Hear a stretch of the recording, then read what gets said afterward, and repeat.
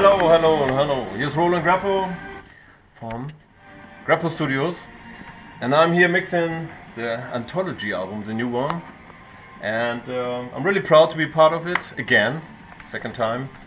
And this time I'm more proud because I think the sound is amazing this time, and the playing is great, good songwriting.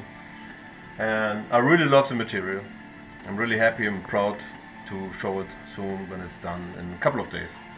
So um, I wish you good luck, guys, and uh, let's rock.